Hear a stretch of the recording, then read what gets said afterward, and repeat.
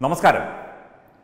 ഇപ്പോൾ കോവിഡ് മഹാമാരിയിൽ തന്നെ എത്രയോ ലക്ഷക്കണക്കിന് പേരാണ് ലോകത്തിന്റെ നാനാഭാഗങ്ങളിൽ മരിച്ചു വീഴുന്നത്.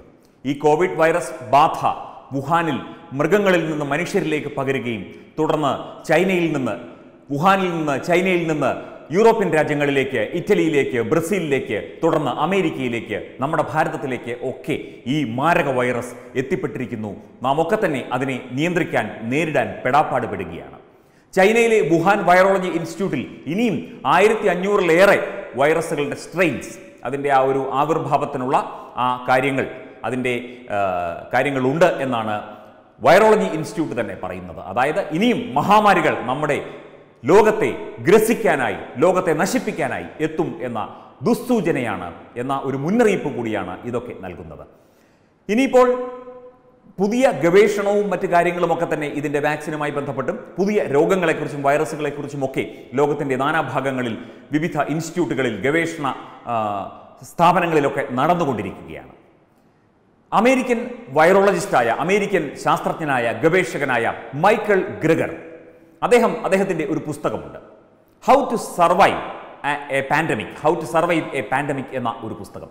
ആ പുസ്തകത്തിൽ ഇനി ലോകത്തെ ഗ്രസിക്കാൻ വരുന്ന ഒരു മഹാമാരിയെക്കുറിച്ച് അദ്ദേഹം പറയുന്നു. ലോകത്തിന്റെ ജനസംഖ്യയുടെ പകുതി ശതമാനം അതായത് നൂറ് പേരുണ്ടെങ്കിൽ അൻപത് പേർ. ലോകത്ത് എത്രയോ കോടി ജനങ്ങളുണ്ട്. അതിൽ പകുതി പേരെ കൊല്ലാനുള്ള ഒരു മഹാമാരി കൂടി വരുന്നു എന്ന മുന്നറിയിപ്പാണ് ഗ്രഗർ തന്റെ പുസ്തകത്തിൽ how to survive a pandemic എന്ന പുസ്തകത്തിൽ നൽകുന്നത്. അതിന്റെ വിശദാംശങ്ങൾ എന്താണ്? അദ്ദേഹത്തിന്റെ ഗവേഷണ ഫലം എങ്ങനെയാണ്? എന്നൊക്കെ നമുക്കൊന്ന് നോക്കാം.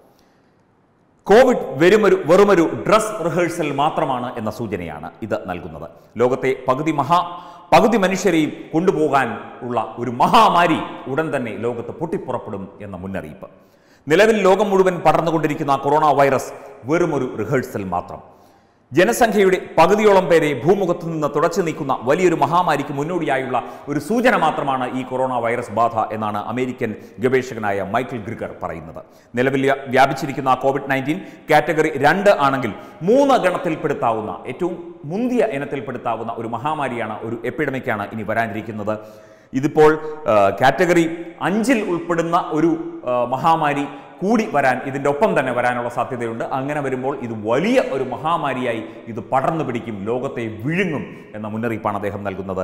ഇന്ന് പ്രബലമായ പല നാഗരികതകളും അപ്രത്യക്ഷമാകും. എണ്ണൂറ് കോടി വരുന്ന ലോകജനതയെ ആകെ ബാ- ആകെ ബാധിക്കുന്ന ആ മഹാമാരി കോവിഡിനേക്കാൾ നൂറ് മടങ്ങ് അപകടകാരിയാകുമെന്നും ഡോക്ടർ മൈക്കിൾ ഗ്രഗർ എഴുതിയ how to survive a pandemic എന്ന പുസ്തകത്തിൽ പരാമർശിക്കുന്നു. മൃഗങ്ങളുമായുള്ള മനുഷ്യന്റെ അക്രമാസക്തമായ ഇടപെടലാണ് രോഗങ്ങൾക്ക് ഹേതുവായി തീരുക. മൃഗങ്ങളെ പരിപാലിക്കുന്നത് അവയെ കൊന്നു തിന്നുന്നത് ഇവയൊക്കെ മൂലം മഹാമാരികളോടുള്ള പ്രതിരോധത്തിൽ മനുഷ്യൻ ദുർബലനായി പോകുന്നു എന്ന ഒരു കാര്യം കൂടി മൈക്കിൾ ഗ്രഗർ തന്റെ പുസ്തകത്തിൽ പറയുന്നു.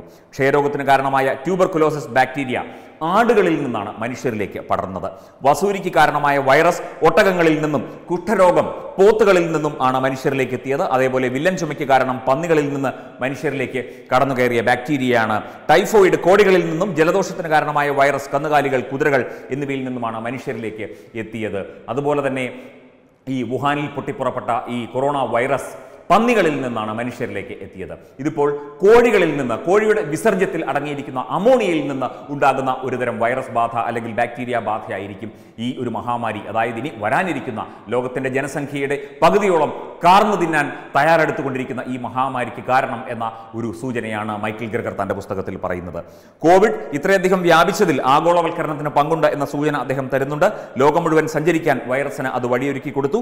മാത്രമല്ല അടുത്ത വൈറസ് വ്യാപനം കോഴികളിൽ നിന്നുണ്ടാകും എന്ന സൂചന നൽകുന്നു. കോഴികൾ ഉൾപ്പെടെയുള്ള വളർത്തു പക്ഷികളിൽ നിന്നാണ് ഇൻഫ്ലുവൻസ വൈറസ് പടർന്നത്. ഇത് മനുഷ്യ ചരിത്രത്തിലെ ഏറ്റവും വലിയ മഹാമാരിയായിരുന്നു. അതുപോലെ തന്നെ ആയിരത്തി തൊള്ളായിരത്തി പതിനെട്ട് ഇരുപത് വർഷങ്ങളിലാണ് ഇതുണ്ടായത്. ഇരുപതാം നൂറ്റാണ്ടിൽ പക്ഷിപ്പനി പലപ്പോഴായി റിപ്പോർട്ട് ചെയ്യപ്പെടുന്നുണ്ട്. ഇത് പുതിയൊരു വൈറസിന്റെ ഒരു പരിവർത്തനത്തിലേക്കുള്ള യാത്രയായി അദ്ദേഹം കാണുന്നു. സാംക്രമിക രോഗങ്ങളെപ്പറ്റി ഒട്ടേറെ ഗവേഷണങ്ങൾ അദ്ദേഹം നടത്തിയിട്ടുണ്ട്. അതുപോലെ നമ്മൾ മൃഗങ്ങളുമായി ഇടപഴകുന്ന മൃഗങ്ങളെ കൊന്നു തിന്നുന്ന മൃഗമാംസം ഭക്ഷിക്കുന്ന ആ രീതിയിലേക്ക് കാര്യങ്ങൾ എത്തപ്പെട്ടിരിക്കുന്നതിന്റെ ഒരു വലിയ കുഴപ്പവും അദ്ദേഹം ചൂണ്ടിക്കാണിക്കുന്നുണ്ട്. മൃഗങ്ങളുമായി അടുത്തിടപഴകുക അത് പെറ്റുകളായാലും അല്ലെങ്കിൽ വളർത്തു പക്ഷികളായാലും മൃഗങ്ങളായാലും അതുപോലെ ഭക്ഷണത്തിനായി വളർത്തുന്നവയായാലും മൃഗങ്ങളുമായുള്ള ഇടപെടലാണ് ഈ വൈറസ് ബാധയ്ക്കൊക്കെ കാരണം എന്ന ഒരു അടിസ്ഥാനപരമായ ഒരു കാര്യമാണ് മൈക്കിൾ ഗ്രഗർ തന്റെ how to survive a pandemic എന്ന പുസ്തകത്തിൽ ചൂണ്ടിക്കാട്ടുന്നത് നമുക്കൊക്കെ ശ്രദ്ധയോടെ തന്നെ കാത്തിരിക്കേണ്ടതുണ്ട് നമുക്കൊക്കെ കരുതലോടെ തന്നെ കാത്തിരിക്കേണ്ടതുണ്ട്.